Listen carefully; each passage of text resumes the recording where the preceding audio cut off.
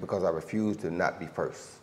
Do we do enough? Well, I never shut up about it. Uh, it must have been about 17, 16, 17. We nicked their guilt rings. Right, the bouncer's guilt ring. This is no good for me. That's the reality. If you want the honest truth, and I see it every day. This is Colm McGuigan for IFL TV, proudly sponsored by Everlast. Delighted to be joined by Andy Lee in New York City. Andy, massive fight week. It's got the big fight feel. Can Jason Quigley do this on Saturday night? He can do it. He can do it. I believe he can. He believes he can. I think that's the most important part. When we're, we're looking at Edgar Berlanga, there's a lot of pressure on him because this is his matchroom debut. His friends, his family in the arena. He has a. He spoke about Canelo. He spoke about Charlo. He has to perform in a dominant fashion. Does that play into Jason Quigley's hands? Hopefully, it could do. Um, we expect him to be aggressive. He's an aggressive fighter. Big, big puncher somewhat. Throws big wide shots. But we see a lot of holds. We see a lot of chances for Jason too. Jason can box and just control himself, control the, the emotion, and the occasion. Then he's right in the fight. How's this camp been for Jason Quigley? Because you've had the long layoff, then you have the one fight after the Andrade fight. Is he in his prime condition right now? I think he is. I think he's got the experience of the Andrade fight, also the motivation to set it, set that right, and prove to people um, that wasn't a good representation of him.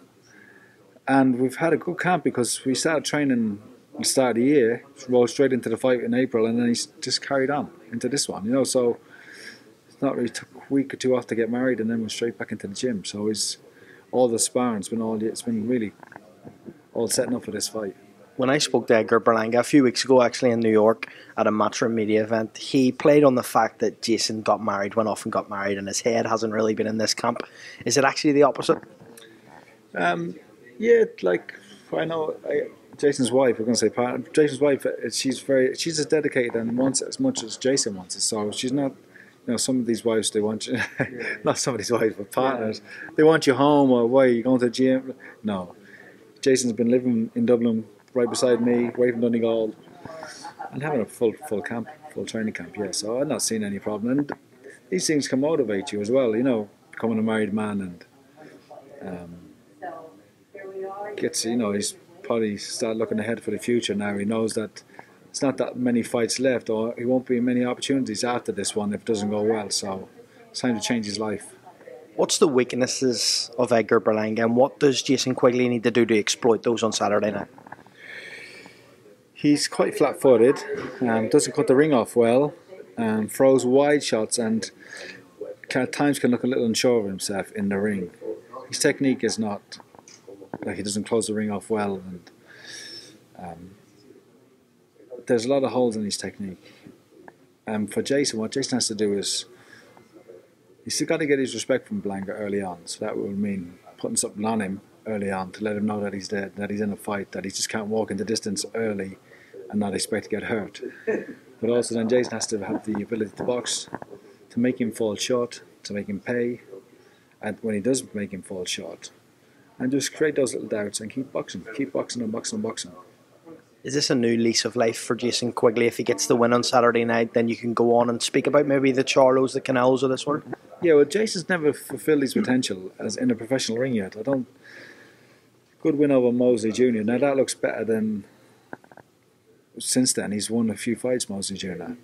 So, um, like, I wonder if how Mosley Jr. and Berlanga will go. That'd be a hell of a fight, you know. But Jason's above these guys, should be above these guys. And when you consider his amateur career, all the experience he's had now, different pro gyms he's been in, all the spars he's had, it's time to fulfill the potential. It's time to live up to the name because he's been touted for a long time, but it's time to actually do it now. Before I let you go, just to touch on the Tyson Fury stuff, he's come out with a video today to say that he's got a big announcement incoming. Luke talked to us yesterday to Eddie Hearn, and the options are quite limited for Tyson as to who he can fight. Who would you like to see him face next? Uh, I'd like to see him fight Usyk. and uh, well, yeah, well, Usyk's fighting Dubois, and this fight's fighting this guy. Joyce is fighting Zhang. Um, I don't know. Like I've been with Tyson, I've been with him recently, and I've been with him obviously the last few years. But I know personally, I know how hard he tried to make those fights, and he's come out bad in the public's eye. There's this perception that he did what he could to get out of Tyson. I've seen the emails. I've been there back and forth with him, and I know honestly he tried to make those fights with AJ and with Usyk. Show me the emails of the offers and everything, but um, he's being frozen out. It seems to me, and maybe it's a bit of a shame because we might be losing his best years to inactivity. And Tyson likes to stay active, so I'm not sure what this new announcement announcement is, but I'd like to see him fight anybody. I'd just like to see him stay busy because he's a fantastic fighter just to watch. It doesn't matter who he's fighting; he sells out anyway. When we spoke to Eddie yesterday, he touched on AJ possibly, you know, fighting someone like uh, Kabayel.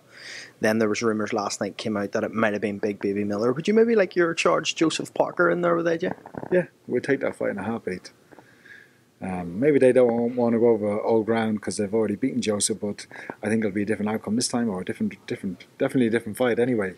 And yeah, I'd like to see AJ. I'd like to see AJ be active too, though. You know, and I don't. There's no hate for AJ. Him and Joseph was a very good fight, and Joseph's style now is much more entertaining than it was when they first fought, because Joseph fought too cautiously.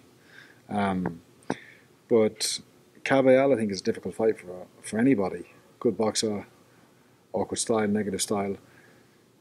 The Jarrell Miller fight, it's a good entertaining fight. Now the drug issues, put that aside, it's a good entertaining fight with the controversy and everything else. But whether he should get the fight or not after his history, I, I wouldn't probably agree with it. But um, I'd like to see AJ stay busy as well. I don't think you need to keep having these mass, big fights all the time. I think it's going against these heavyweights, just looking for big fights because they're not always there. Sometimes you're better just to stay active. Well, Andy, we'll catch up again this week. Really appreciate your time. Thanks, mate. Thank you.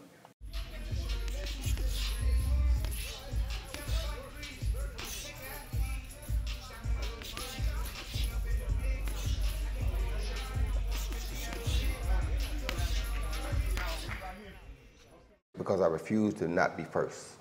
Do we do enough? Well, I never shut up about it. Uh, it must have been about 17, 16, 17. We nicked their guilt rings.